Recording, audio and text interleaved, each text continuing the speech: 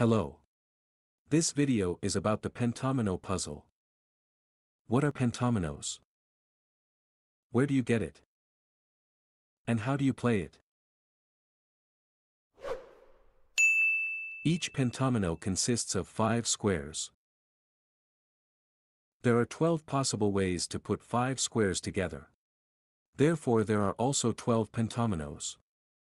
The pentominoes can be used to assemble many different shapes. For example, geometric shapes.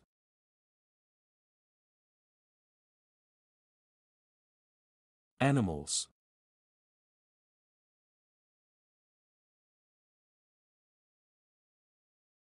Various objects.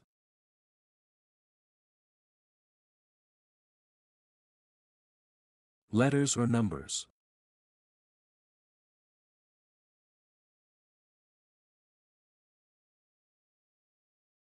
Where do you get pentominoes?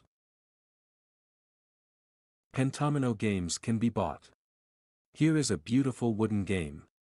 It has an area of 8 by 8 squares. Since all pentominoes are only 60 squares, the puzzle includes an extra tile of 4 squares. You can make pentominoes yourself from cardboard.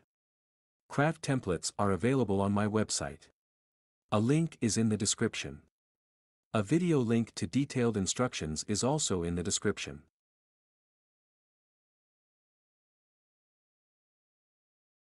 For the cardboard pentominoes there are many shape templates on my website.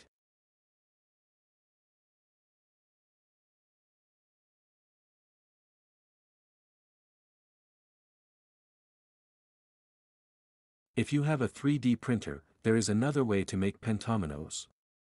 3D printing templates can be downloaded from Thingiverse, Printables and other 3D printing platforms.